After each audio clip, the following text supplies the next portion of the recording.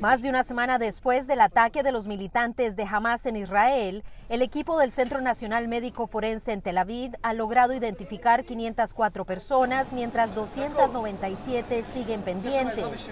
El doctor argentino Ricardo Nachman, director de medicina forense de Israel, explicó a La Voz de América el procedimiento. Imágenes como esta, que le advertimos puede herir sensibilidades, fueron compartidas con la prensa.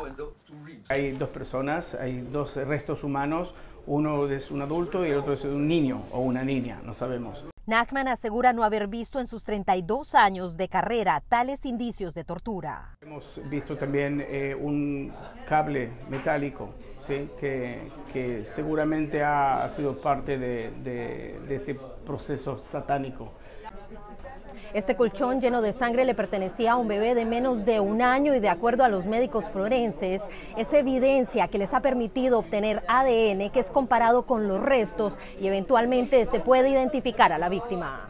Razón por la cual Dan Gulevich de la compañía Daniel Biotech decidió donar sus recursos y acceso a esta máquina que procesa 500 muestras de ADN más al día, ya que para él y su equipo es algo personal.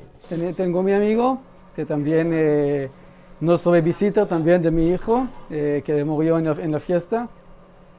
Tenemos el abuelo de mis amigos que está ahora en Gaza y tenemos eh, algunos amigos que murieron. Para Julia de la Garza, médico forense de Nueva York, fue importante atender el llamado para asistir al equipo israelí.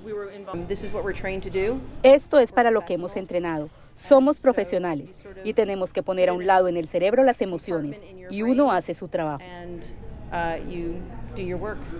Celia Mendoza, Voz de América, Tel Aviv, Israel.